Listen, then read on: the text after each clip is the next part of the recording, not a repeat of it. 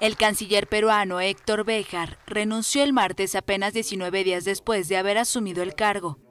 La dimisión se da en medio de la presión del Congreso y las Fuerzas Armadas, tras la difusión de un video grabado en noviembre de 2020, en el que se ve al sociólogo de 85 años, que fue guerrillero guevarista en la década de 1960, afirmando que la Marina de Guerra de Perú fue la primera en efectuar actos terroristas en el país, con apoyo de la Agencia Central de Inteligencia de Estados Unidos.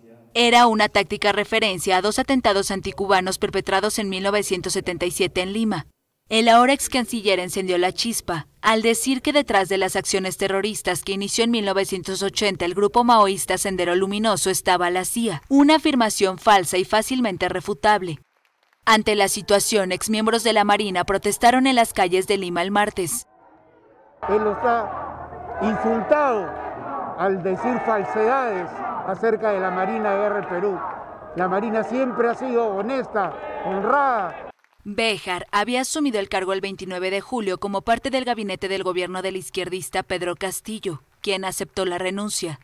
La presidencia no anunció quién asumirá al frente de la Cancillería,